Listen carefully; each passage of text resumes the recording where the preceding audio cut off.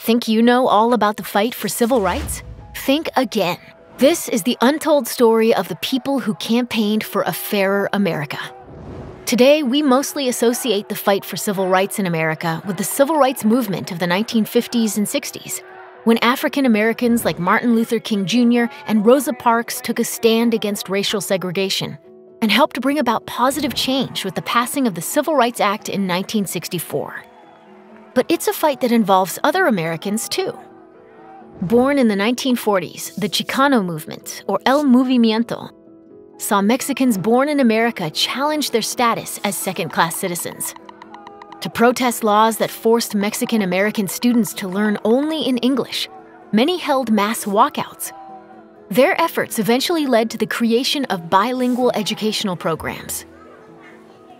The Red Power movement of the 1960s was led by young Native Americans who believed that indigenous communities should have the right to govern themselves and their ancestral lands.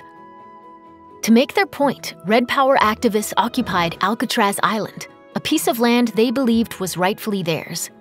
The protest lasted 19 months and helped pressure the government to start returning ancestral native land. The gay liberation movement began in the 1960s.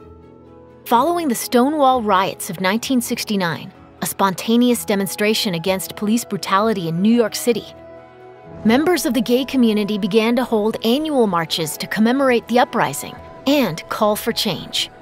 Today, gay pride events take place across the United States, where homosexuality was finally decriminalized in 2003. How can the effects of civil activism and protest be measured? And why do you think it takes lawmakers so long to action change?